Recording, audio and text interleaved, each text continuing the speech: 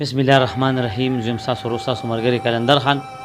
دا وغزو تاسو سره په یو ډیر اهم ایشو باندې خبره کوم او ایشو دا دا چې یو سور د شوی په سوشل میډیا باندې په نت او په انټرنیټ باندې چې کوم دینو یو نالتی انسان د مستان نامه ده اغا نعوذ بالله د رسول پاک صلی الله علیه وسلم د الله جل شانه په شان کې چې کوم ګستاهی کړی دا اغا داغه مونږه مکمل پر زور مزمت کو او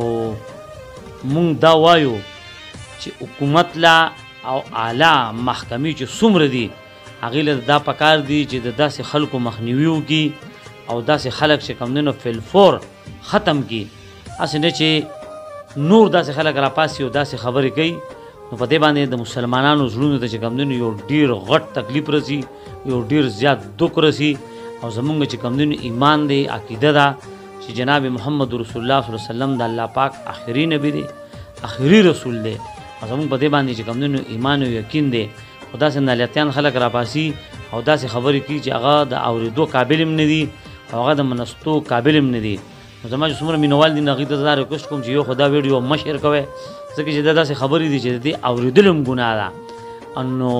هماغه چې تاسو په څنګ کې دا کم نالتي سړی نه د چې کم دینو داسې الفاظ ویلي دي چې هغه نه منلو دي نو زما چې څومره مخکې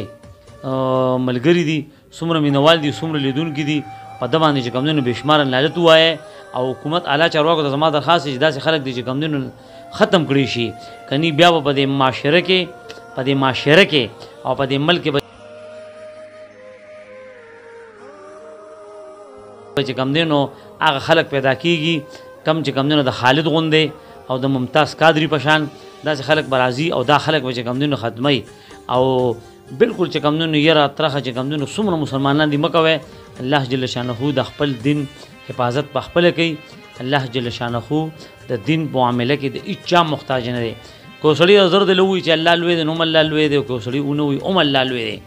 الله جل شانه کن فیکون ذات ته هغه وراول وراره او ټول کائنات او ټول دنیا بچا دی هغه چې څه غواړي هغه به کېږي، خو داسې نالتي سړی چې داسې خبرې کوي او داسې الفاظ بیانوي د نبي په شان کې نو موږ پر زور مذمت کوو او د دې د حکومت نه چې کوم دی نو مطالبه کوو چې داسې خلک دې راونیسل شي او دې دې پانسي کړی شي ځکه چې دا د حکومت قانون او اختیار چې کوم دی نو دی له دا اختیار ورکړی دی او د دې چې کوم دی نو د سره په عین کې اړو سشتنه داسې خلک دې همیشه د پاره چې کوم دی نو ختم کړی شي